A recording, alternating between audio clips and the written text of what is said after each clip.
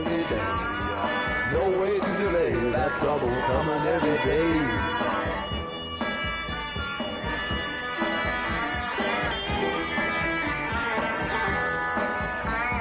Wednesday I watched the riot. I seen the cops out on the street. Watch them throwing rocks and stuff and choking in the heat.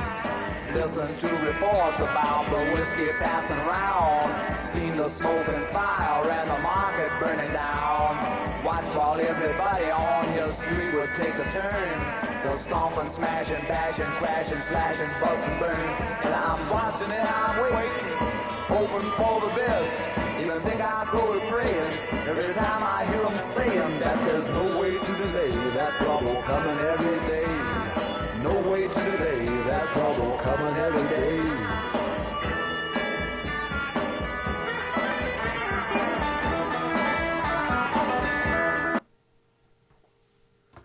Welcome to the Liberal Buzz Show.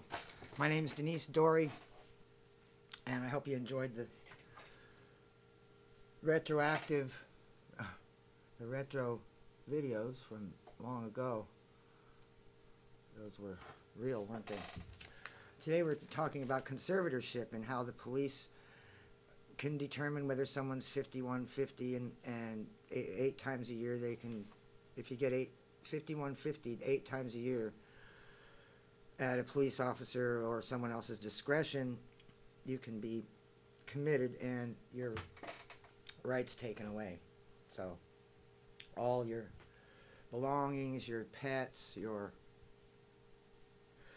your housing, your decisions, all that. So, that's that's what I'm saying. And uh, the target's homeless people with mental illness and substance abuse and aims to take away their rights rather than providing voluntary services. And this is my guest, David Elliot Lewis, who is. Hello, this is David Elliot Lewis of the um, the Mental Health. Mental Health Association of San Francisco. Yes. Hi, and Hi. Hi. I'm also part of Voluntary Services First Coalition, ah, yes. uh, oh, which good. is or, which is organized to fight the expansion of conservatorship laws. Yeah, that's great. And so the, let's define the conservatorship laws. So the term conservatorship is a, is a court order ordered by our local city courts that orders somebody into treatment and confinement often, and it could be often either in the city or out of county, could be at, anywhere in California, even if you live in San Francisco, for the duration of time that they see fit.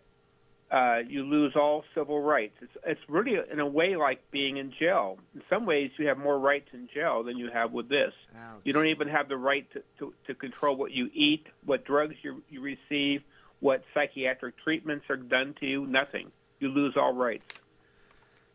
and right right to even have any money. You, you have no decision on, on whether where where your money goes. What about Social Security? What happens to their Social Security when they All, when, all, well said. All of your money is controlled by the the conservator. The conservator is a person appointed by the court to manage your case. It's it's like a case manager, but it's a case manager that manages all aspects of your life, including where you live, what medications you receive, everything. And by the way, the medications aren't voluntary. If, if the conservator and the psychiatrist deem that you have to be, receive certain drugs, regardless of the side effects of those drugs, you're going to be given those drugs against your will. And that can even mean being strapped down to a gurney and injected with intravenous drugs, often antipsychotic drugs with severe side effects, against your will. like It's Thorazine, very, it's, like, like Thorazine, and s- the Zine drugs, Thorazine, Stelazine, kind of like a liquid Yeah. lobotomy.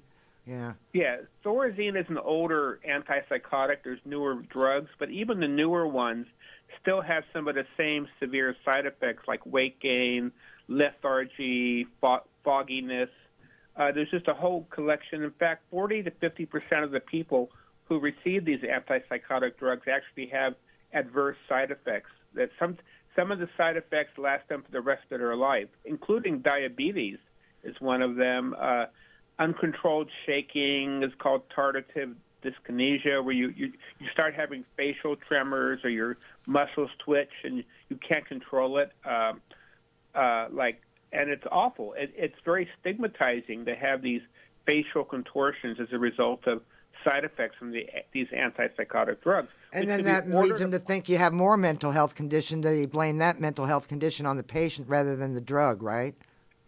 Well said. Mm. Well said. This is why we're so scared, and this is why so many groups, including Coalition on Homelessness, Mental Health Association that I represent, uh, and many other groups, Senior Disability Action, um, you know, have been organizing to try to fight this because we I, we should say there's already conservatorship laws on the books for some people who do actually need it. People who've been impaired by strokes or dementia or other problems and they really can't care for themselves. And we're not trying to stop what's already on the books. We don't want it to see expanded to drug users. And that's really what this is all about. Uh-huh. Expanding conservatorship laws to drug users. And ugly laws like and right? Ugly laws? Well, it's interesting you mentioned that. A lot of people may not know that San Francisco, back in the 1800s, was one of the first cities to implement ugly laws, which were actually laws that said that anyone who had any kind of a disability or anyone who, who appeared unfit to appear in public could be cited with a misdemeanor crime for even appearing in public.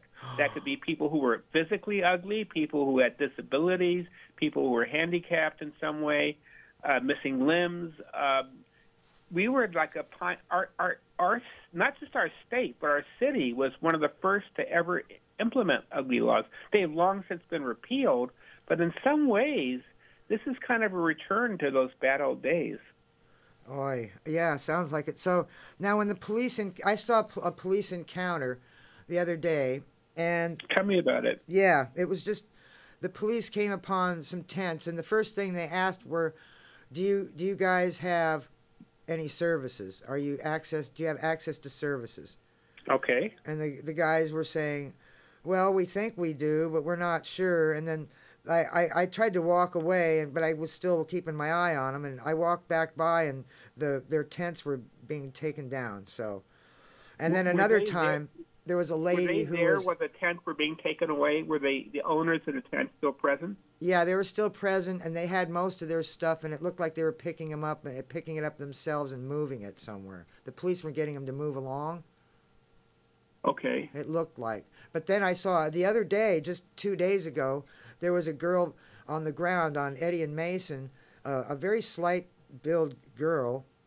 Yes. Black, uh, light-skinned black lady who uh, was being held down by five burly police officers in you know That's black awful. and whites, and we just thought that was unnecessary. So a crowd of us gathered around. Some of us took videos, and then the police called the mental health units instead because we urged them to call the mental health units. So, okay, some, is was Good. that the right reaction? Yes, I mean for you to ask them to call for a mental health response is the right reaction. Yes, because it sounds like first you don't need to use that much force for someone that small, and regardless of their color of the skin or their gender. If if there's somebody who is so slightly built as you described, that seems like excessive force. Was this person resisting or fighting back, or just complying?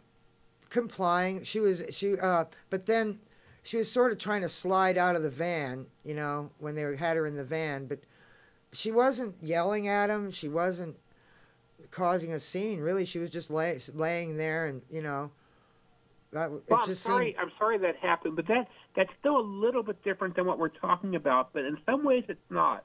And let me tell you why it's not. Because this new law the city is trying to enact, they call it the Housing Conservatorship Bill, based on Scott Wiener's SB 1045, which is a state law, would kind of encourages police to involuntarily detain people on what's called a 5150 yeah. psychiatric hold, which means that if they if they deem somebody as uh, a danger to themselves or others with of mental health issues or drug use issues, they could take them into custody, bring them to General Hospital Psychiatric Unit. It's called PES. PES stands for Psychiatric Emergency Services, PES. And they could, and if they bring them there um, six times, I don't know, it's eight times in 12 months, they could qualify for this new conservatorship law. That's part of being qualified. The other part is you have to be dual diagnosed as a drug user and have mental health issues, both. Both. But oh. still, it encourages police to take people in custody in hopes that they'll qualify for conservatorship. But every time you take someone into custody, it's traumatic. Just what you described to that poor woman sounds traumatic to her. And you imagine if that happened to somebody eight times in a year, that would be very traumatizing to Of somebody course. to be forcibly taken into custody. And often people are not medically transported to the hospital. They're brought in a police car with in handcuffs on a back seat of a police car, which is humiliating and traumatizing, and brought to the hospital in a police car. And uh, the police should not be treating mental illness. That should be a medical issue, not a police issue. If the, somebody's not a danger to the community, they should bring an ambulance and medical personnel, not police personnel. That's that's my belief. That's our coalition's belief that uh, mental illness needs a medical response, not a criminal justice response. But this this new conservatorship law, the housing conservatorship bill, kind of encourages more police responding to mental illness and to drug use. And we don't need people who are fragile, who might might have psychiatric issues, interacting with police. Because as we know, when you're if you have a psychiatric problem and you interact with police, you're more likely to end up being killed by police. And Absolutely. most, mo- many of these police shootings involve people with psychiatric issues. Um, so we, we want to avoid these interactions wherever possible. Just you know, the police are getting better at it uh, in terms of hand, using less force, but still, wherever we can avoid police interactions, the better. And I would say, if you ever see anybody in psychiatric distress, call, you know, uh, call, for a medical, call for an ambulance. Don't call for a police officer. Absolutely. And take pictures and videos if you can Yeah. too, huh? I think that's a good safeguard. It, it helps protect. It helps keep everybody honest. The police are wearing body cameras, which I think actually has helped reduce the use of force. Um, that and maybe crisis intervention team training. But the fact that police are now wearing body cameras uh, means that they know they're being monitored um, themselves, so they're more likely to to check themselves when using and from using unnecessary force. oh, and as a result, you know, in the last year, we haven't had any kind of psychiatric, you know, anyone in psychiatric distress being shot at all. No more Mario Woods type of incidents recently, which is thank God for that. You know, they've gotten better. Um, and there have been a few people in the last year with knives that have approached police officers. In the old days, you approach a police officer with a knife, you end up dead. These Uh-huh. days, they're actually figuring it out how to disarm you without killing you, which is like really amazing. Huh. They're doing better in that respect. So I, I'll give them props for that. You know, for dealing with people with with, with bladed weapons, but we we still want to avoid bringing police into a psychiatric situation. That's one of the reasons we're so concerned about this conservatorship legislation. Plus, the, the police have discretion to 5150 somebody. Yes, they do. And All they can have it in for somebody they don't like. that unfortunately that it can be abused. Um, and we're concerned, and whether the 5150 is valid or not, that you know whether the hospital just says no, this person doesn't qualify, and we're just going to not even accept them. It doesn't matter. It still counts on their record as a 5150 toward that quota of eight. Count them eight and 12 months, and so in other words, an officer can bring in somebody eight times in a year, whether that's valid or not, even though the hospital could have rejected them all eight times, and it still will count on their record. Yeah. So there's like no checks and balances there in terms of whether the 5150 is actually valid. So, what kind of uh, services are offered to folks that are having mental health episodes, say on good, the streets? Good question. So right now the system is kind of broken. So First of all, at, at Psychiatric Emergency Services, which is on the ground floor of the old building of General Hospital, they don't even have a social worker. At most, for about less than half of the patients that come in, they'll give them a referral. When I say give them a referral, I mean literally hand them a piece of paper and say, call this number. It's not a warm handoff. It's not a case manager that guides you through the process. It's literally like a piece of paper that says, call this number for this agency and they'll hook you up. Most of these patients aren't, aren't going to call or aren't capable of calling. And, and yet, only half of the people even get that. A lot of them don't even get this, don't even get any referral, any referral at all. They're just discharged without referral, just back to the street where they came from. It's really kind of criminal, I think, that that our kind of system of care churns people out without without follow up, without referral. And when I say referral, I mean any kind of referral, no referral. We we can do better. You know, we can do better with our, our vulnerable population, with our people in need.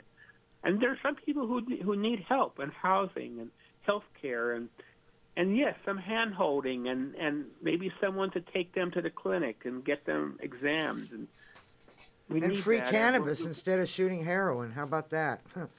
uh, right on. I'd Right love to on. see that. Um, well, thank God at least our laws are such that you're no longer going to go to prison for possession of cannabis. Thank God. So we got we made a little we made a little progress. Where remember, 20 year 25 years ago, mere possession was like a felony.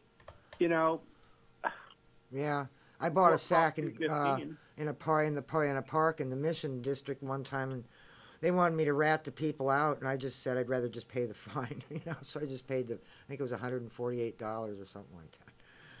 So yeah, I understand. I mean, so yeah, we're slow. I, you know, half the states in this nation have now have some form of medical or recreational cannabis laws, and we we will hit a point, I believe, at the federal level, will it will be it will be legalized. I think Yeah. that will happen in our lifetime. But in in the meantime, um, we're, we're dealing with the fact that there are, there are people who, who clearly need help right now: housing and health care and jobs, jobs, housing, and healthcare, but especially housing and healthcare, and they're just totally unhelped by this system. They're left to die on the street, and that left to die on the street is actually used as an excuse by people who are pushing this conservatorship law, saying, "See, people are dying on the street. We have to help them." But the fact is, the help isn't there. The housing on demand isn't there. The treatment on demand isn't there.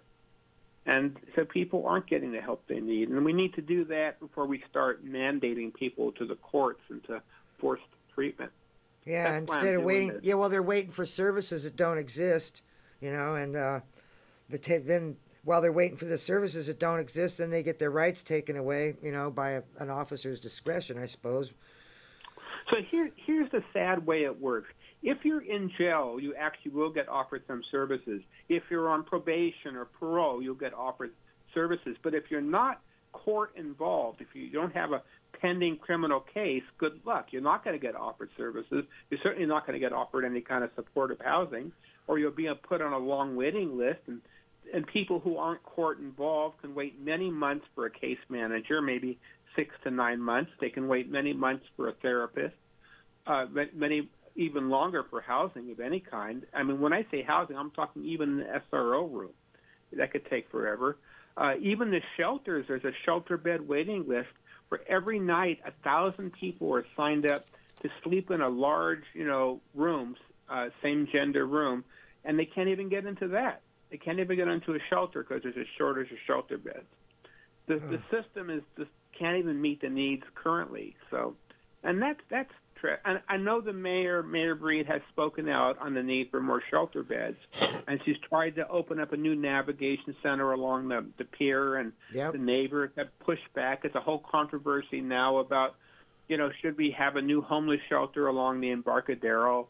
Uh, it's it's sad that some neighbors are pushing back on that, but we you know we need to do it. We need to accept the fact that there's people unhoused and, and they need to be cared for, and, and to let in this rich city with so many millionaires and billionaires to allow people to sleep outdoors because we don't have enough shelter beds. Last question. Last Pardon? question. Let's see. We got about a minute left. About a minute. Now, how Go for it. um, how many folks are in San Francisco? Do they say would be affected by SB 1045? So, good question. Uh, that number keeps going up and down. Now, the, the number of people who've already been 5150 um, eight times in the last year is about 55 people. Um, that there's another 48 people that have been detained seven, six to seven times. So maybe those might round up to eight, and then you're talking 100 people. But then if you cross-reference that with drug use, not just when I say drug use, I mean documented drug use, uh, where Ah. it's diagnosed by a psychiatrist. Then you're suddenly down to like a dozen or two, maybe or maybe ten people, and no one knows. So that the the city has, the state has been trying to to, to change the law to make it even apply to more people. There's a new bill before the state called SB 40, which would remove some of the safeguards. Um, bottom line is it's less than 100 people and possibly less than 50 people that will be affected by this. And even if this happens, you know, there's still going to be a lot of people suffering on the street. You're going to see no difference in terms of, you know, facts on the ground. Number of homeless tents in your neighborhood, number of addicts shooting up on the street. None of that's going to change. I think this is done as a politically popular move to to satisfy constituents who call into the mayor's office and supervisor's office to complain about homeless people in their neighborhood. But it's not going. It's it's initially not going to target that many people. Well, thank you for your time. David, and I really appreciate it. You're welcome. it. Thank you so much. And if people want to learn more, they can go to sdaction.org. That's S as in senior, D as in disability, action, all one word, sdaction.org. And on that website, there's links to where they can learn more about this uh, conservatorship legislation. All right. Thanks, David. Thank you, Denise. Okay. Bye bye. Be in touch.